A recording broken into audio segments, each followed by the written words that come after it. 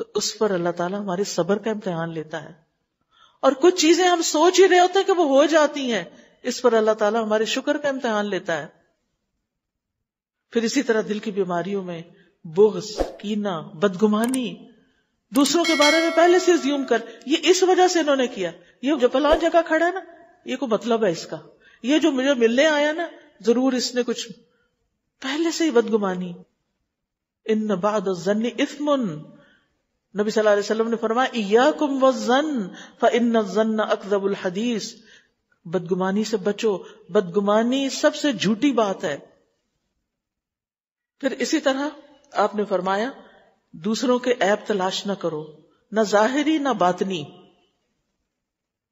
مال و دولت میں ایک دوسرے کے ساتھ مسابقت نہ کرو، ایک دوسرے سے حسد نہ کرو، آپس میں بغض نہ رکھو، ایک دوسرے سے منہ نہ پھیرو، روگردانی نہ کرو۔ ایک دوسرے سے ناراض نہ رہو۔ آپس میں مسلمان ہو۔ ان المؤمنون اخوا بھائی بھائی ہو۔ آپس میں سلام، دعا، حال چال کی خیر خبر رکھو۔ ایسے بندے بن کر رہو جو آپس میں بھائی بھائی۔ خون عباد اللہ ہی اخوانا۔ پھر اسی طرح قطع تعلق ہی نہ کرو۔ ناراضگی ہو گئی ہے۔ تین دن کے بعد ناراضگی ختم کرو۔ پھر اسی طرح دل کی بیماریوں میں ایک بڑی بیماری بخل، کنجوسی، ہرس شہ سارے فائدے اپنے لیے چاہنا۔ اور دوسروں کو کچھ مل جائے تو اس پہ حسد شروع کر دینا۔ اپنے دل کا جائزہ لے جب کسی کو نعمت ملتی ہے تو میرے دل کا حال کیا ہوتا ہے؟ میں خوش ہوتی ہوں یا نہیں؟ جو بندہ دوسروں کی نعمت پہ خوش ہوتا ہے نا، سمجھے اللہ نے اس کے دل میں ایمان بھر دیا۔ الحمد للہ اللہ نے اس کو بھی دیا۔ شکر ہے، اللہ نے اس کو دیا۔ کسی کے پاس بیٹیاں ہی بیٹیاں اور بیٹا ہوا، تو اب آپ اس کی دیورانی ہے، جٹھانی ہے، تو ابھی آپ کا بیٹا نہیں ہوا، تو جل کے نہ رہ جائیں۔ آپ شکر کریں۔ الحمد للہ ہمارے خاندان میں ایک بیٹے کا اضافہ ہو گیا۔ کسی کے جاب آپ سے بہتر ہو گئی۔ بھائی ہے، دوسرے ملک، اس کو کوئی اپرچونٹی مل گئی۔ خوش ہو شکر ہے، ہمارا اپنا ترقی کر گیا۔ بجائے اس کے کہ اوہ، وہ تو وہاں پہنچ گیا اور ہم یہیں بیٹھے رہیں گے۔ ہماری تو قسمت ہی پھوٹی ہوئی۔ کتنا ہم اپنے آپ کو ازیت دیتے ہیں، دنیا میں بھی۔ اور ان زبان سے نکلی باتوں کا آگے بھی جا کے بھگتنا پڑے گا۔ اور اگر یہ بیمار دل ساتھ چلا گیا تو آگے بھی مصیبت پڑ جائے گی۔ نبی صلی اللہ علیہ وسلم نے فرمایا، دل میں ایمان اور بخل اکٹھے نہیں ہو سکتے۔ دوسروں کے لیے دل بڑا کرے اگر کوئی ان کی بات بری لگی ہے تو ان کو معاف کر کے آگے بڑھے اچھا سوال یہ پیدا ہوتا ہے کہ دل بیمار کیوں ہو جاتے ہیں؟ اس کی کچھ وجوہات ہیں۔ ایک تو ہے اللہ کی آیات سے روگردانی۔ قرآن کا دل میں نہ اترنا۔ اللہ کے ذکر سے روگردانی۔ خیر کے کاموں میں سستی۔ فرائض سے پیچھے رہنا۔ فتنے قبول کر لینا۔ یعنی فضول باتیں۔ کسی کے خلاف کوئی بات آئی کہ سوشل میڈیا پہ وائرل ہو رہی فوراً اس کے نیچے کمنٹ کرنا، بغیر تحقیق کے۔ آج آپ دیکھیں کہ لوگوں کے پاس کتنا وقت ہے۔ ایک شخص بلا تحقیق، بے بنیاد باتیں کسی کے بارے میں کر دیتا ہے، ویڈیو بنا دیتا ہے، دوسرے لوگ دیکھ کے خوش ہو رہے ہوتے ہیں کہ چلو کسی کا کوئی ایپ پتا چلا۔ اور جبکہ حقیقت کچھ اور ہی ہوتی ہے۔ اور چیز کو کچھ سے کچھ بنا کے پیش کیا جاتا ہے۔ یہ جو لوگوں نے کاروبار بنایا وہ یو ٹیوب اور فیس بک پہ کہ ایسے ایسے تھم نیلز لگاتے ہیں، ایسے ایسے ٹائٹل بناتے ہیں جن کا اندر کے کانٹینٹ سے کوئی تعلق نہیں ہوتا۔ یہ جھوٹ ہے اور اس طرح کا کاروبار حرام ہے۔ آپ کبھی کسی کی ذات کے خلاف کوئی بات کرتے ہیں، کبھی کوئی ایسا شوشا چھوڑتے ہیں جس کی کوئی حقیقت ہی نہیں ہے۔ اور کبھی وہ بات لکھتے ہیں جو لوگوں میں بڑی ٹرینڈی ہے لیکن جو آپ کانٹینٹ ان کو دے رہے ہیں وہ ان کا نہیں ہوتا۔ بعض اوقات نام کسی کا لکھا ہوتا ہے، اندر سے کوئی اور بول رہا ہوتا ہے۔ صرف ریٹنگ بڑھانے کے لیے، صرف لوگوں میں مشہور ہونے کے لیے، زیادہ ویوز بڑھانے کے لیے، یہ سب جھوٹ کا کاروبار ہے اور جھوٹ منافقت کی علامت ہے۔ یہ ایمان کا دشمن ہے۔ پھر اسی طرح دل کو بگاڑنے والی چیزوں میں کثرت کلام، کثرت تعام، طرح طرح کے کھانے کھانا، طرح طرح کی باتیں، یہ دلوں کو سخت کر دیتی ہیں۔ ابن قیم کہتے ہیں، دل کو بگاڑنے والے پانچ امور ہیں۔ لوگوں سے زیادہ گھل مل کے رہنا، خواہش پرستی، اللہ کے علاوہ کسی دوسرے سے تعلق، زیادہ کھانا، زیادہ سونا۔ ساری رات سو کے پھر صبح اٹھ کے پھر سو جاتے ہیں۔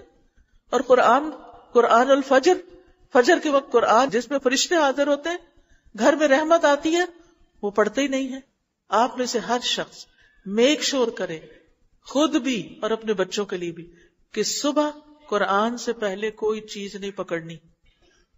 نماز پڑھی ہے، سیدھا قرآن کو اٹھا لیں۔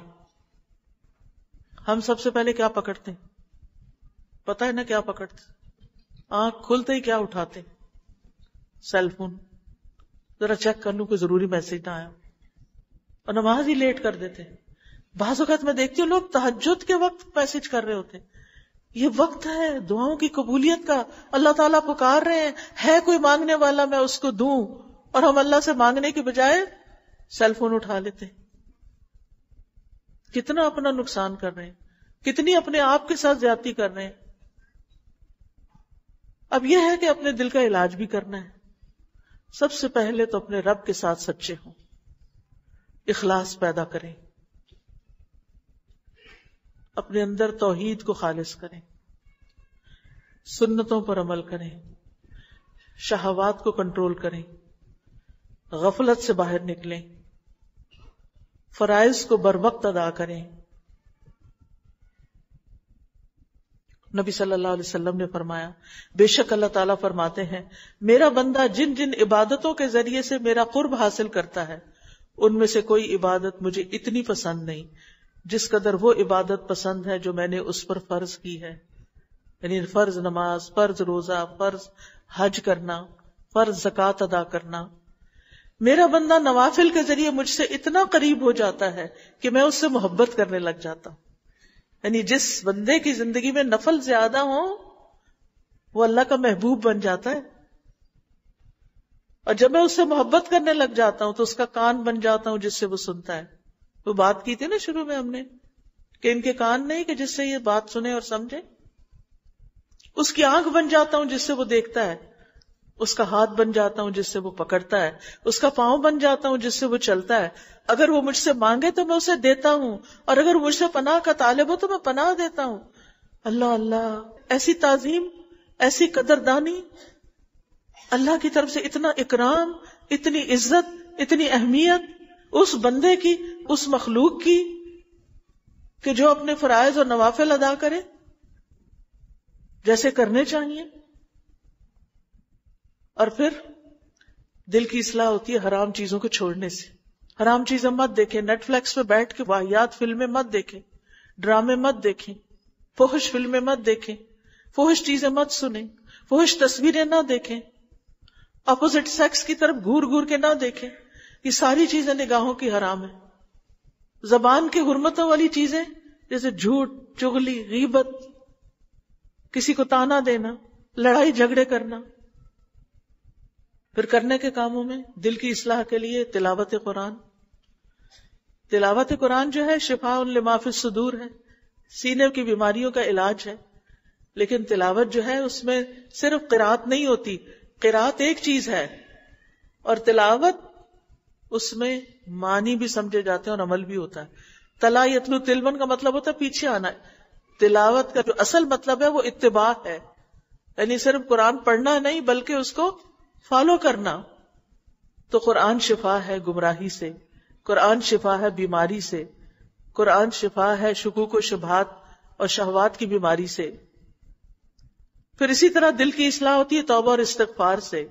روزانہ سو بار کم از کم استغفار کرے، ایک تصویر استغفار کی ضرور کرے۔ پھر صبر کرنا، نافرمانی کے کاموں سے رک کے، نیک امال کر کے، سختیوں اور مصیبتوں پر اپنی زبان اور اپنے ایکشنز کو روک کے، پھر خواہش پرستی سے بچنا۔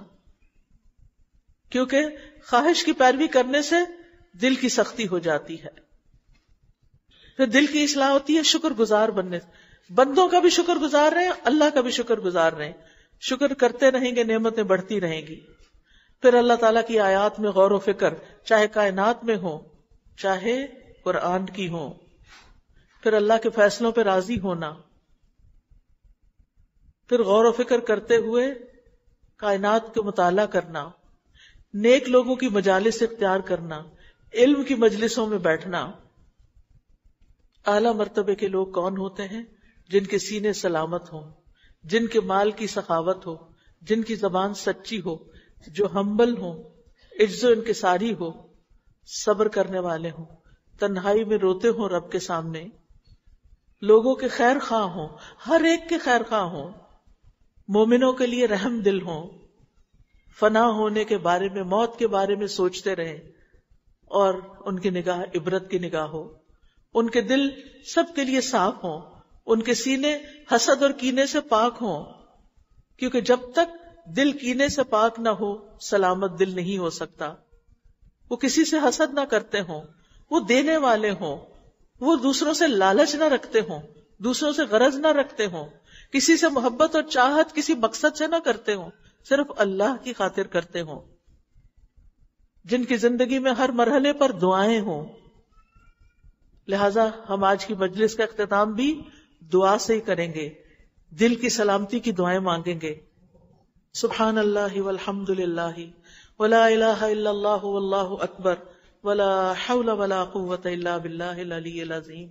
اللہم صلی علی محمد وعلى آل محمد كما صليت على ابراہیم وعلى آل ابراہیم انك حمید مجید۔ اللهم بارك على محمد وعلى آل محمد كما باركت على ابراہیم وعلى آل ابراہیم انك حمید مجید.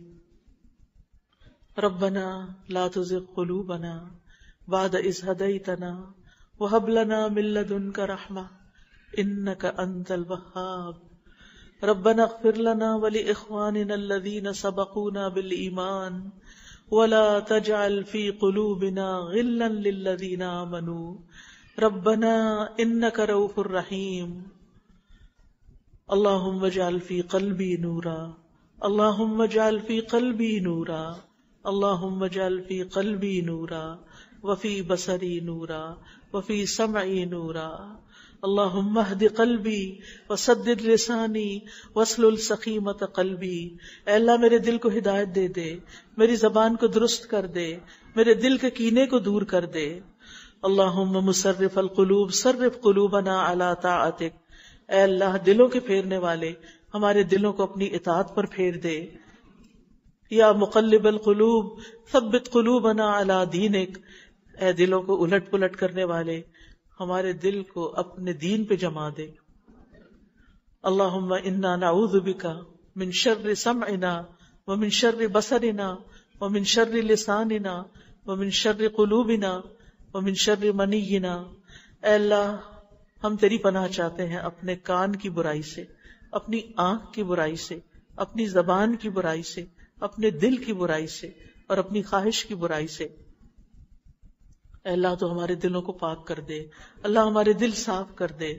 اللہ مغسل قلبی بما الثلج والبرد ونق قلبی من الخطایا کما نقیت الثوب الابید من الدنس وباعد بینی وبین خطایا کما باعدت بین المشرق والمغرب اے اللہ، میرے دل کو برف اور اولے کے پانی سے دھو دے، میرے دل کو خطاؤں سے صاف کر دے، جیسے کہ سفید کپڑے کو میل سے صاف کرتا ہے۔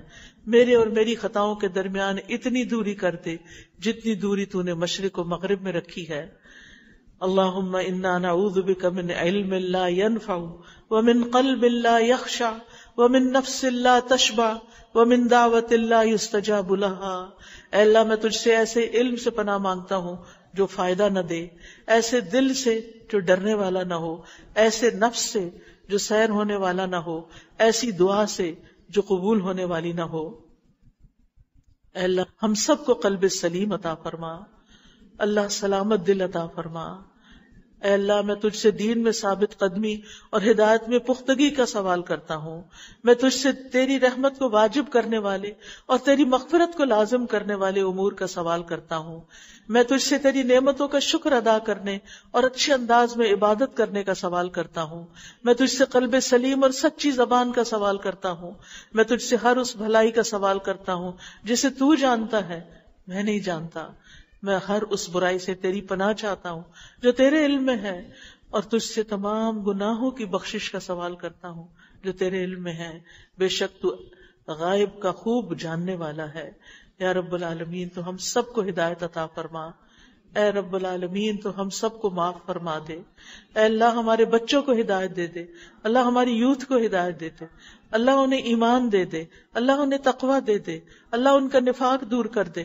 اللہ، ان کے شکوک و شبہات دور کر دے۔ اللہ، ان کے شہوات کو دور کر دے۔ یا اللہ، انہیں اپنا بنا لے۔ اللہ، ہمارے بچوں کو ہمارے لیے صدقہ جاریہ بنا دے۔ یا اللہ، ہمارے والدین پر اپنی رحمت فرما۔ اللہ، ان کے درجات بلند فرما۔ جو دنیا سے جا چکے ہیں، ان کی بخشش فرما۔ یا اللہ جو باقی ہیں انہیں صحت سلامتی عطا فرما۔ یا اللہ ہمیں ان کا حق ادا کرنے والا بنا۔ یا اللہ ہمارے دلوں میں بڑوں کی عزت اور چھوٹوں کی شفقت ڈال دے۔ یا رب العالمین تو ہمارے گناہوں کو معاف کر دے۔ یا اللہ جتنی بہنیں آئی ہیں، ان کے دلوں میں جو دعائیں ہیں، اللہ ان کے دلوں میں جو تکلیفیں ہیں، یا اللہ ان کی دعائیں قبول فرما لے، ان کی تکلیف دور کر دے۔ یا رب العالمین، تمام بیماروں کو صحت عطا کر دے۔ اللہ یہ بہنیں جس چیز کے لیے بھی فکر مند ہے اللہ ان کی فکریں دور کر کے ان کو فکر آخرت عطا کر دے۔ یا اللہ تو ہم سب کو معاف کر دے۔ یا اللہ ہم سب کو معاف فرما دے۔ اللہ ہم پہ رحم کر دے۔ اللہ جنہوں نے اس مجلس کا اہتمام کیا، انہیں اس کی بہترین جزا دے۔ جنہوں نے اپنا وقت، اپنا مال، اپنی ایفرٹس لگائی ہیں، ان سے قبول کر لے۔ اور جو بہنیں تکلیف اٹھا کے آئی ہیں دور دراز سے، یا اللہ ان کا آنا قبول کر لے۔ اللہ ہم میں سے کوئی بھی یہاں سے محروم نہ جائے۔ اللہ تو ہمارے دلوں کی اصلاح کر دے۔ اللہ ہمارے دلوں میں اپنی محبت بھر دے، ایمان بھر دے، یقین بھر دے۔ یا اللہ ہمیں قلب سلیم عطا کر دے۔ ربنا تقبل منا انك انت السميع العليم وتب علينا انك انت التواب الرحيم، وصلى الله تعالى على خير خلقه محمد وعلى اله واصحابه واهل بيته اجمعين برحمتك يا ارحم الراحمين. الهي امين سبحانك اللهم وبحمدك اشهد ان لا اله الا انت استغفرك واتوب اليك یا رب العالمین تو قبول کر لے. السلام علیکم ورحمۃ اللہ وبرکاتہ۔